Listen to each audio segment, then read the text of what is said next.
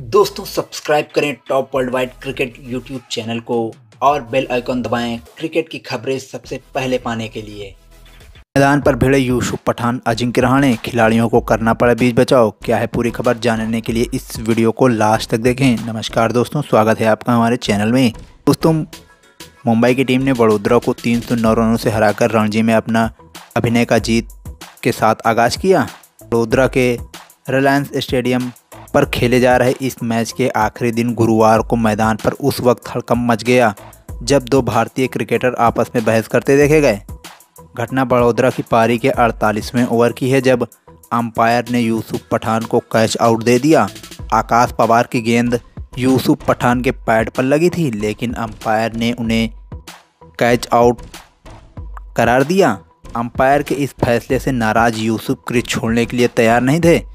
पठान के क्रिज पर खड़े रहने के बाद रहाणे उनके पास आए और दोनों के बीच कुछ बातचीत होने लगी। ये बातचीत काफ़ी देर तक चलती रही।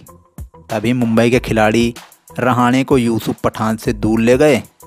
इसके बाद सैंतीस वर्षीय बल्लेबाज को पवेलियन लौटना पड़ा। हालाँकि लौटते वक्त भी यूसुफ पठान फैसले के खिलाफ ही हिलाकर असहमति जताते हुए नज़र आए।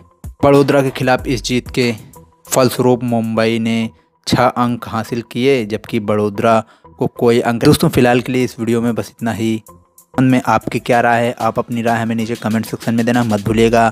ज़्यादा जानकारी और क्रिकेट की अन्य तमाम खबरों के लिए आप हमारे चैनल को सब्सक्राइब करें, साथ ही वीडियो को लाइक और शेयर करना बिल्कुल ना भूलें। धन्यवाद।